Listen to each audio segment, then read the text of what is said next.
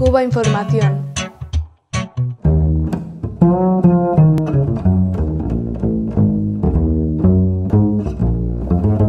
Hace unos días veíamos al cantante Yotuel Romero encabezar en Madrid una manifestación contra el gobierno cubano. A su lado, la dirigente del partido xenófobo de ultraderecha Vox, Rocío Monasterio, hija, recordemos, de un rico exterrateniente cubano.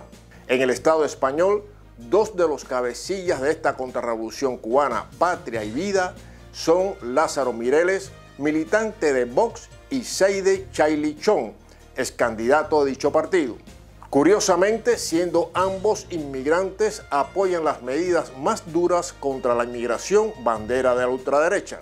Algo parecido sucede en Alemania. Cuando su gobierno acogió a familias sirias refugiadas, no pocos cubanas y cubanos patria y vida se unieron al mensaje racista del partido de extrema derecha Alternativa para Alemania. Hoy, la organización alemana autodenominada Sociedad Internacional por los Derechos Humanos cuyo presidente de honor fue asesor de Augusto Pinochet, es muy activa en la defensa de los derechos del pueblo cubano.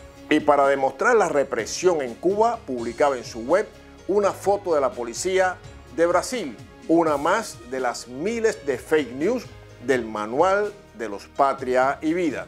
Curioso que a la prensa liberal, progresista, europea, no le llame la atención esta conexión entre ultraderecha y la mal llamada disidencia cubana, que describe a las claras su proyecto de país para Cuba.